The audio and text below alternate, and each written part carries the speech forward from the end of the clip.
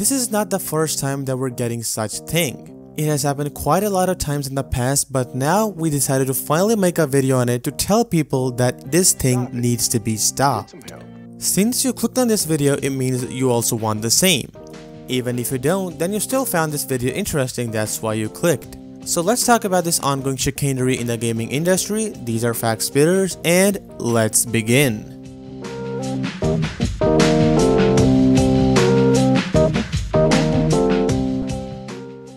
Before starting the main video, we must go into a bit of history to understand the situation in depth. Basically, at the time of PlayStation 5's launch, many gamers were wondering what kind of games it will offer because obviously since it's a new console, it won't feature plethora of games as PlayStation 4 has. So to overcome this deficiency, they came up with the brilliant idea of remastering the old games which were released on PlayStation 4. The first set of games that were remastered for PlayStation 5, in my opinion, were Marvel's Spider-Man Remastered and Spider-Man's Miles Morales. Although Miles Morales is not a remaster because it was made specifically for PlayStation 5, but it still counts as one. After that, God of War Ragnarok released and it had two versions, one for PlayStation 4 and PlayStation 5, which led us to the conclusion that PlayStation 5 does not have its own set of games which are made specifically for the console. Even as of 2024, there are a lot less games which are made specifically for this console. And this is how it started.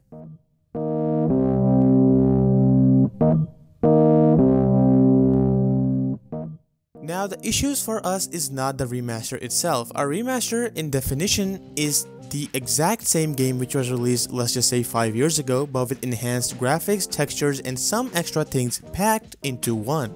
But it seems like Sony took this definition too far. The remasters that they released offered a bit of improvements and nothing else. The Spider-Man remasters on the other hand were actually good. They offered us way more than a simple graphical overhaul. But then things start to get worse. Many other popular and goated games in the gaming community start getting remasters and most importantly remakes. Some impeccable games like The Last of Us gets a remaster and then eventually gets remade for PlayStation 5. And even if we ignore the remaster, the remake that they made for PlayStation 5 was completely bullshit.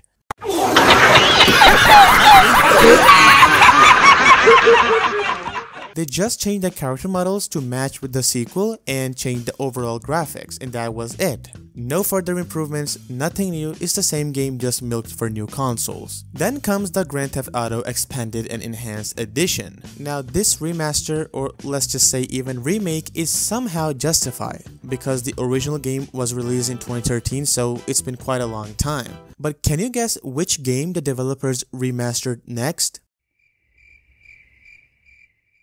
Come on, guess it. Well, if you haven't yet, then it's The Last of Us Part 2, the sequel of the previously mentioned game and it was released in 2020. Like, what the f Being greedy is one thing, but this is just unacceptable. You are remastering a game which was released in 2020 for God's sake and even the graphics don't look outdated yet. The main point of a remaster is to improve and update the graphics and that's just it. At this point, we can safely say that they're doing it just for money. Games like GTA 5 has been remastered a lot of times, and many others. But this was the past. In present, a few days ago on PlayStation State of Play event, we got another magnificent announcement by Sony and guess what? Horizon Zero Dawn is getting a remaster. And if we look at the improvements, they're saying they just updated the character model to match with the game's sequel Forbidden West. And the improvements are just improved textures, character models, and shaders. That's it. And just look at their confidence. They're charging 10 bucks for simple things which even a modder can fix. The best part, the game is also getting a release on PC, which makes absolutely no sense because you already have the base game and anyone can mod it and they can mod it better. Even if you look at the comment section, people are making a lot of fun of Sony. And I hate to say but in the future, they have a lot other remasters planned. But this thing needs to be stopped. thank you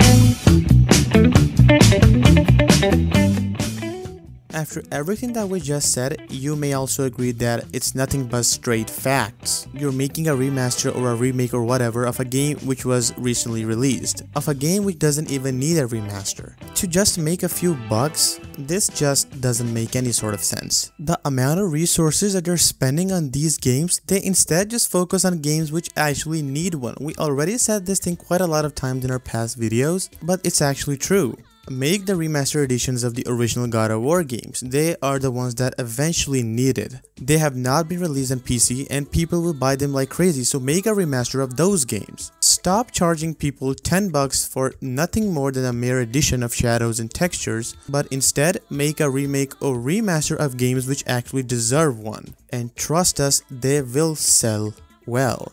And that's pretty much it. We hope that you guys loved and enjoyed this video and be sure to let us know in the comment section what you guys think. And also let us know which are the games which you want to see a remaster on.